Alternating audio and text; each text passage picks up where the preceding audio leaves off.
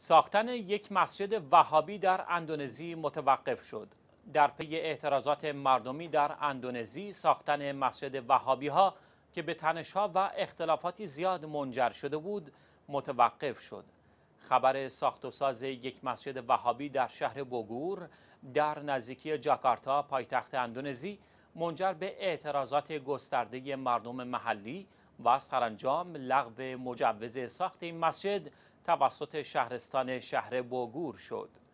مجوز ساخت این مسجد که احمد بن حنبل نامگذاری شده در سپتامبر سال گذشته صادر شده بود اما اخبار مربوط به ساخت و ساز قریب الوقوع این مسجد راهپیمایی های گسترده مردمی و اعتراضاتی وسیع را در پی داشت. اختلافات بر سر ساختن مسجد به سرعت بالا گرفت به طوری که هر روز تجمعات اعتراضآمیز گسترده در شهر به راه می افتاد.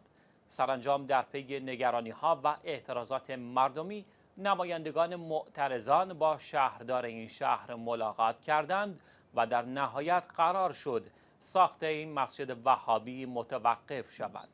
به گفته یکی از ساکنان محلی پروژه ساخت این مسجد از زمان پیشنهاد آن در سال 2015 توسط جامعه محلی مردود بود. با این وجود حکومت بدون توجه به نظر مردم با طرح ساخت این مسجد موافقت کرده بود.